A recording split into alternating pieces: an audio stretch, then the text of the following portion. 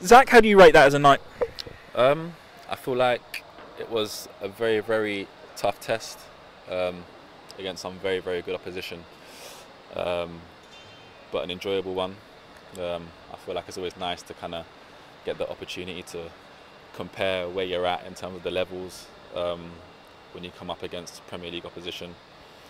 Um, but I thought the boys done themselves proud. Yeah. Um, it's kind of a free hit, I guess. We weren't really expected to, to turn them over, but you know, in cup games, anything can happen.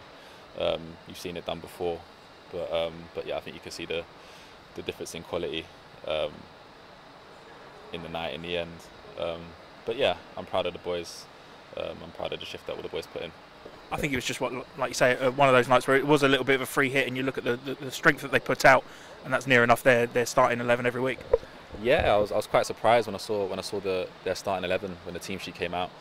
Um, in these kind of games, you kind of half expect them to kind of play a second string, but they, they played pretty much full strength full strength side that you see um, comfortably in the Premier League, play every single week. So um, so yeah, it was it was it was quite it was quite exciting in terms of in terms of that, and and yeah, it was a, it's a very very good experience.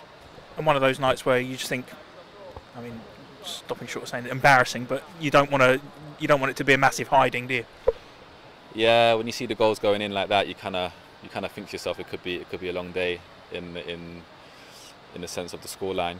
Um, but I think in the end, I feel like it was it was quite respectable in the end. Um, they had they had quite a few opportunities where they where they could have or situations where they could have they could have made it more and the boys have kind of defended well it was last ditch tackles or clearances and and uh, so on and so forth um, but yeah as I said I feel like the the boys the boys done themselves proud away from the game tonight it's been a bizarre week for, for you guys at MK Dons what's it been like as a, as a player from the inside um, in all honesty having someone like Skip Dean Lewington in the in the dressing room. Um, I feel like he's kind of our comfort, well, he's definitely mine. Um, with the experience and the calmness, um, he is pretty much MK Dons in a nutshell. So having someone like him um, kind of take over in the in the in the meanwhile, um, it hasn't been been as bad in all honesty, and um, yeah, it was quite good in the sense of when you see someone like someone like him on the on the on the sidelines and he's in control of the games. Naturally, you kind of wanna you wanna give 100% for for someone like him because um, he gives 100% um, for his teammates, whether you're in his position or not. He's always willing to, to give you a helping hand and give you advice and whatnot. So, so yeah, it's um, it hasn't been so bad. What was it like tonight with, with having Bradley in there? Because you know, obviously he's he's had to step in and, and, and step up as well. Yeah, Brad not so good. No, I'm joking. no, it's same. He's got he's got like a, so much experience. He's played at the highest level himself. So um, the knowledge of the game that Brad's got, the experiences that he's also got, um, is invaluable. So it's hard not to, to respect someone like that when they have to fill in those fill in those shoes and and um, take on the role of, of leading the boys. Um, in a situation that, that you had to tonight. Um, so yeah, it was it was pretty much the same, pretty much the same. When you've got a situation like this, is it just a case of just keeping your head down and, and coming into training every day and just you know doing what you do? Yeah, I think from the beginning, I feel like you know the club's always always done well in terms of recruiting very good people.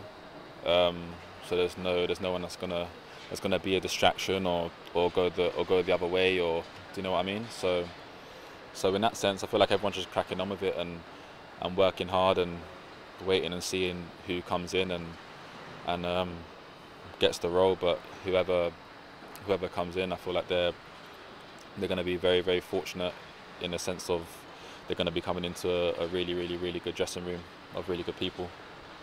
And I suppose we'll focus now on, on that Boxing Day game and, and how massive it's going to be.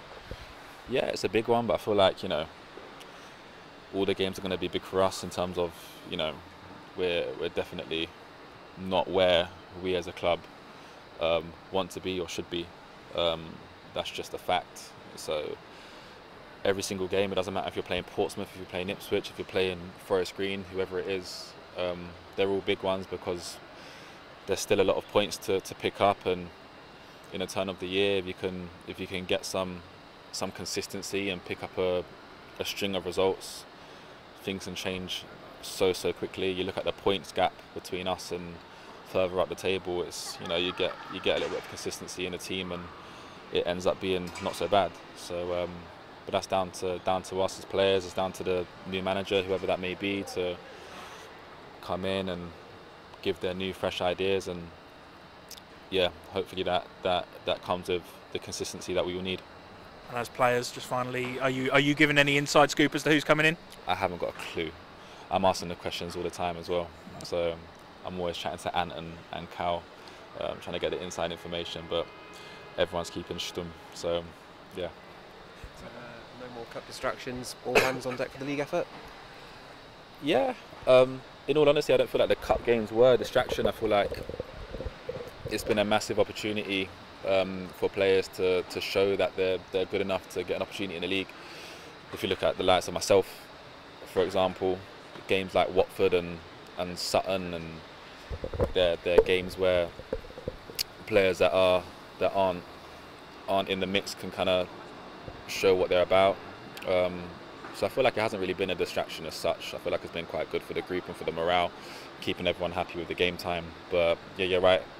It's uh, it's business time now. So um, yeah, all eyes on on the league, and yeah, we need to focus on getting some consistency and getting them points on the board. Especially as well as there's been wins in the cup games as well to help boost morale when there's been tends to dip in the league stuff. And. Say that again, sorry. Sorry, I'm, I'm with the wording, but yeah, there's been lots of uh, cup wins in the interim side of the season to just keep the momentum ticking over, making sure that you're able to win the games. Yeah, it's, just, it's, it's all about getting the momentum. You know, it's just so important in football. Um, however you get it, the easiest way to get momentum is, is by winning games. Um, so yeah, hopefully we can we can make that a habit. I think I spoke to you guys after the Charlton game, and I was saying conceding goals and lose, losing can become a habit, and it's the same as winning. So um, yeah, we need to flip that and um, and make winning a habit for sure. Was there a couple of runs during the game as well? Was it case just advance to see what comes of it?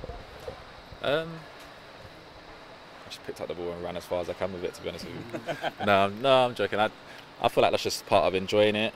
Um, yeah, I feel like games like tonight, if you can't express yourself or you're kind of fearful and stuff, I feel like what's the point in playing? Um, so yeah, that was that was a bit of fun. I, I enjoyed it. I enjoy uh, when I get the opportunity. Um, yeah, making runs like that when it's when it's on. Um, but yeah, it was uh, yeah enjoyable.